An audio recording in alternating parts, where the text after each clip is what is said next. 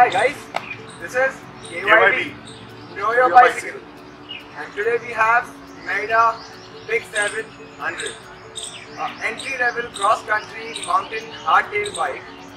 And Daniel, our technical expert, will take care of it from all the possible angles. Hello everyone. So as Akash said, the Merida Big 7 100. Now, the first thing that we have to discuss right now is the, the geometry on this bike. It is this cycle is marketed as an entry level cross country bike. Cross country bikes are generally very high end. Merida is giving you the same geometry, the same sort of feel at this price. It isn't cheap, but we will tell you why this bike deserves that. Let's start off with the seat. So, I like this seat for the fact that I am not a thin guy, as you can clearly see. This seat gave me the confidence to sit in the middle, move up front, move towards the back. I could manipulate myself, and Akash would probably say the same thing. Because of the high movement. this seat has a lot of room you Exactly. actually go fast. Exactly. The, this seat exudes efficiency because, for example, me, a, a, a guy with big thighs, I cannot ride a seat even bigger than this. This for me was perfect. I could not say, any, anything more about that. It was perfect. One more thing that really surprised us was the frame. We didn't really look into it as much. Akash and I both did our research and we saw the forming of, of, of, of saw the forming of these frames. They are formed through something called Techno forming system. exactly techno forming system. Now, with the word itself, you hear techno, so that means something to do with tech, technology, not my thing. Forming, the forming of these of these frames through technology. Now, what that gives you is it gives you a machine that has a shape. It has a shape here, and you have your metal. It pushes the metal down and it forms it. It gives it that shape. Which means you have consistency in your materials. You have the quality in that. And here it is. Every weld on this bike is nearly perfect.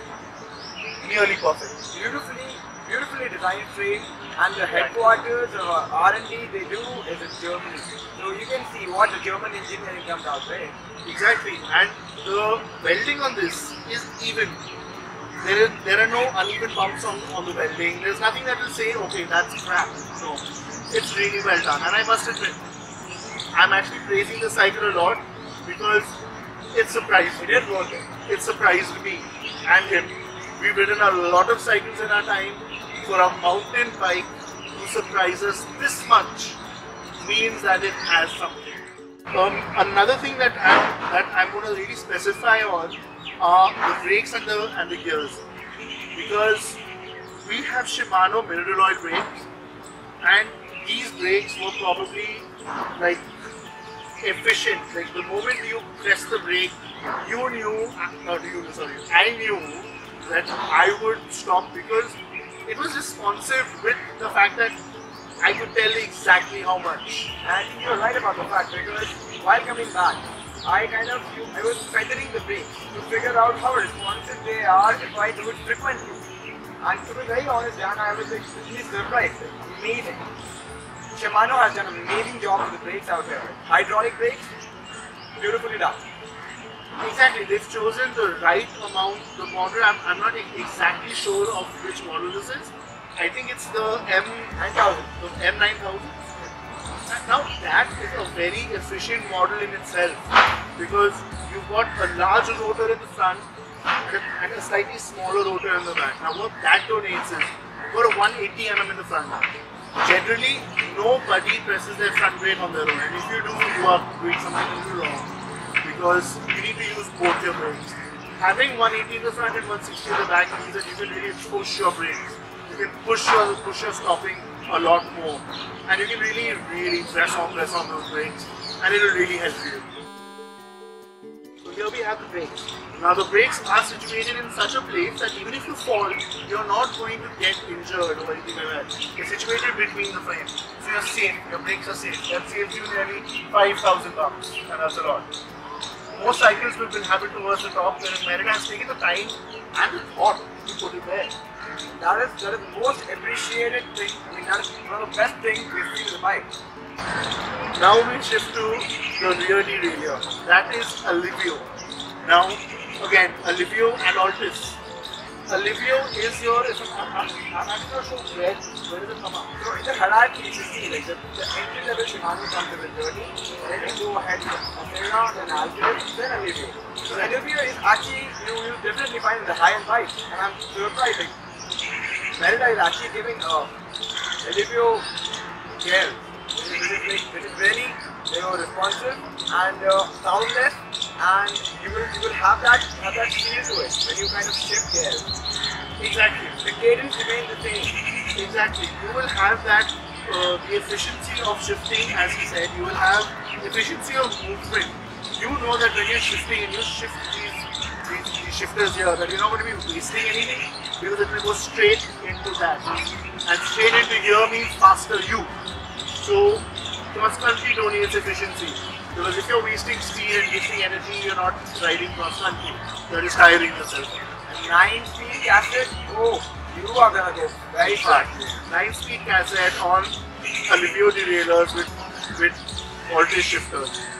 Now you have that much of a range with efficiency and guys who've ridden cycles much longer than I will know that if your bike is not tuned and if it gets out of tune fast and it's not efficient, you don't feel like riding. So this does not this does not give you that feeling. It is a very sound system and it is perfect for what this bike is meant to do. Let's move on to the cockpit now. My I love the cockpit on this bike because number one, you've got a 680 mm handlebar, which has a, the perfect amount of rise and the perfect amount of back angle on it. Which means that it's coming up and it's coming slightly towards the back. Which means that you have the width, but you have the slightly upright position in case you need to get up, get up out of your seat and pedal fast. And Akash will definitely say the same thing because he rode it from, I think, uh, Noida to Patparganj and this guy was dreaming and he was smiling. Because the best part about the handlebar is actually the better the handlebar, wider the handlebar, the more control you have on the bike. And with a frame like such, I was literally floating on the road. Exactly. The handlebar situation is, I think, anything above 680 to 700 is your big size. Right now in Delhi, when you baby ride, anything lower and you get the best of both worlds there. So 680 is right there. What really surprised us was the brake, the brake reservoir and the, the and the brake lever on this bike because you got a slightly a, a slightly longer longer lever, which means that you can push your brake in slightly more and give yourself that single finger finger braking, which is really really good and it feels really really nice on this bike because it's been tuned so well. The brakes are tuned so well to this bike, and Akash will definitely feel that right now. Because it makes a difference. It really makes a difference when your fingers are free and actually gripping the handlebar and just pedaling the brake. It feels nice as well. Not a single piece construction, you can- have adjustability always. Exactly. With this double piece construction, you can adjust it to however you feel it. And that's the most important thing. Bikes that come under the cross country or downhill or en- enduro name are very personal bikes. You may find the same model with somebody else. I might share the same model with Akash. But if he rides my bike, he'll say, brakes are I don't like it like that. Because that's my style. And he will have, and I will feel the same thing on his bike. So personalization really makes a difference. Another thing that we say is internal cabling. Now, what that does is you got your uh, you got your wires that are on the outside. Most cycles will have wires that go along the frame and then through the through the shape of the frame. That could lead to certain endeavors that might not work. Internal cabling gives you two things. One, it forces the company to give you, generally give you lifetime warranty, which they are, by the way. And and protects them from the dust and the, the mud and the rain and the slushy things because obviously you will definitely have a long life the wire. Exactly. Jagwires are known for their consistency, and there are there are Jagwires.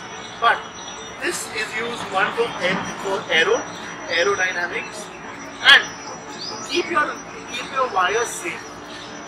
And so you don't have too many wires here at the front. It's all through the frame. So you can't really see too much of it. So now we're going to shift to the suspension and the wheel set. This is something that Merida I think have really taken time in because they've really got a beautiful combination with their Maxxis Ikon Ikon tires.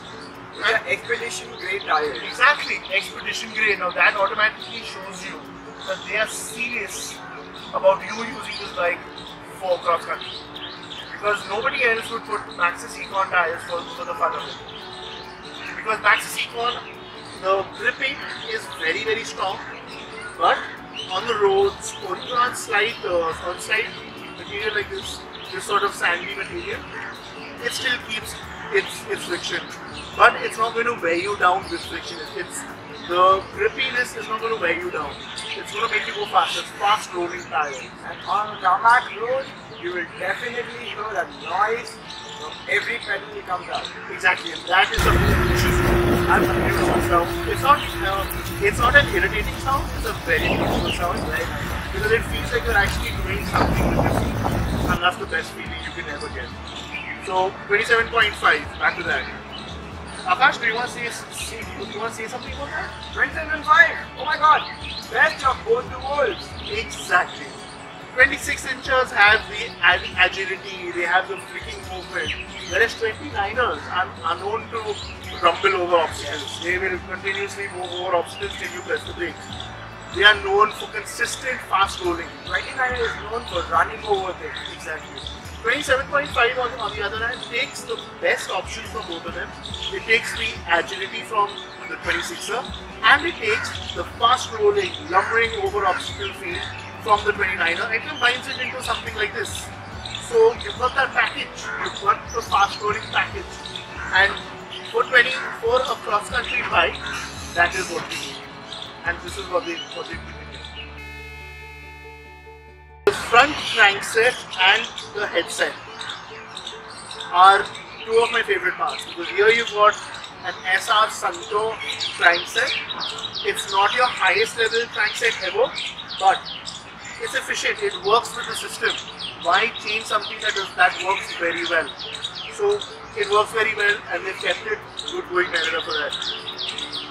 The FSA headset. The reason I didn't talk about this with the cockpit is because I sort of combine it with the frame, and the FSA headset is.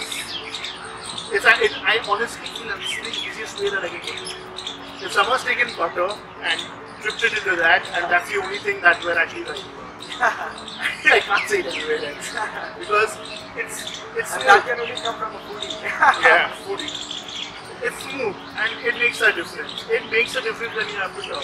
So, to sum it all up, we have the entry level cross country mountain bike from Merida, Quick 700. For people who love to roll down the mountains, to enjoy the downhill, take the easy climb, and I am definitely gonna take it to the tour of Northeast this time. Can I? Can I come too? For sure. I don't have enough space at the back though. Never know. so like, share, subscribe, and do follow and we'll definitely cover the best of the best of the bikes for you guys to take to make the right choice. Adios.